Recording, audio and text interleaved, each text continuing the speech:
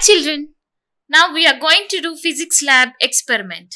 This experiment belongs to 6th standard and the chapter name is electricity and circuits.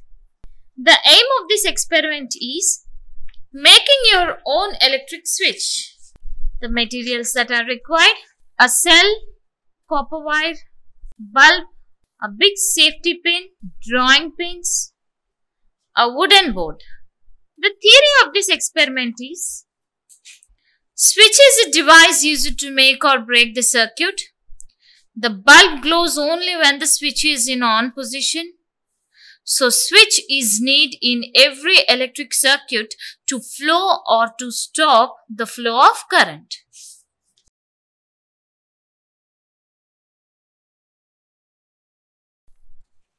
Now it is time to see procedure.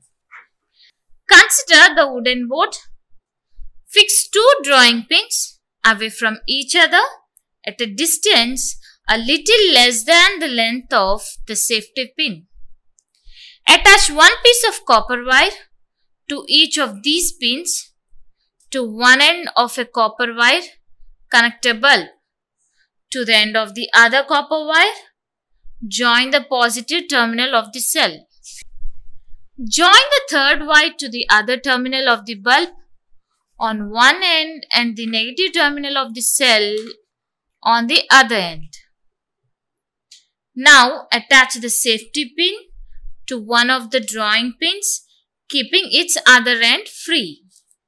So what did you observe my dear children? The observation is when the ends of copper wire are joined by means of safety pin, then the bulb glows.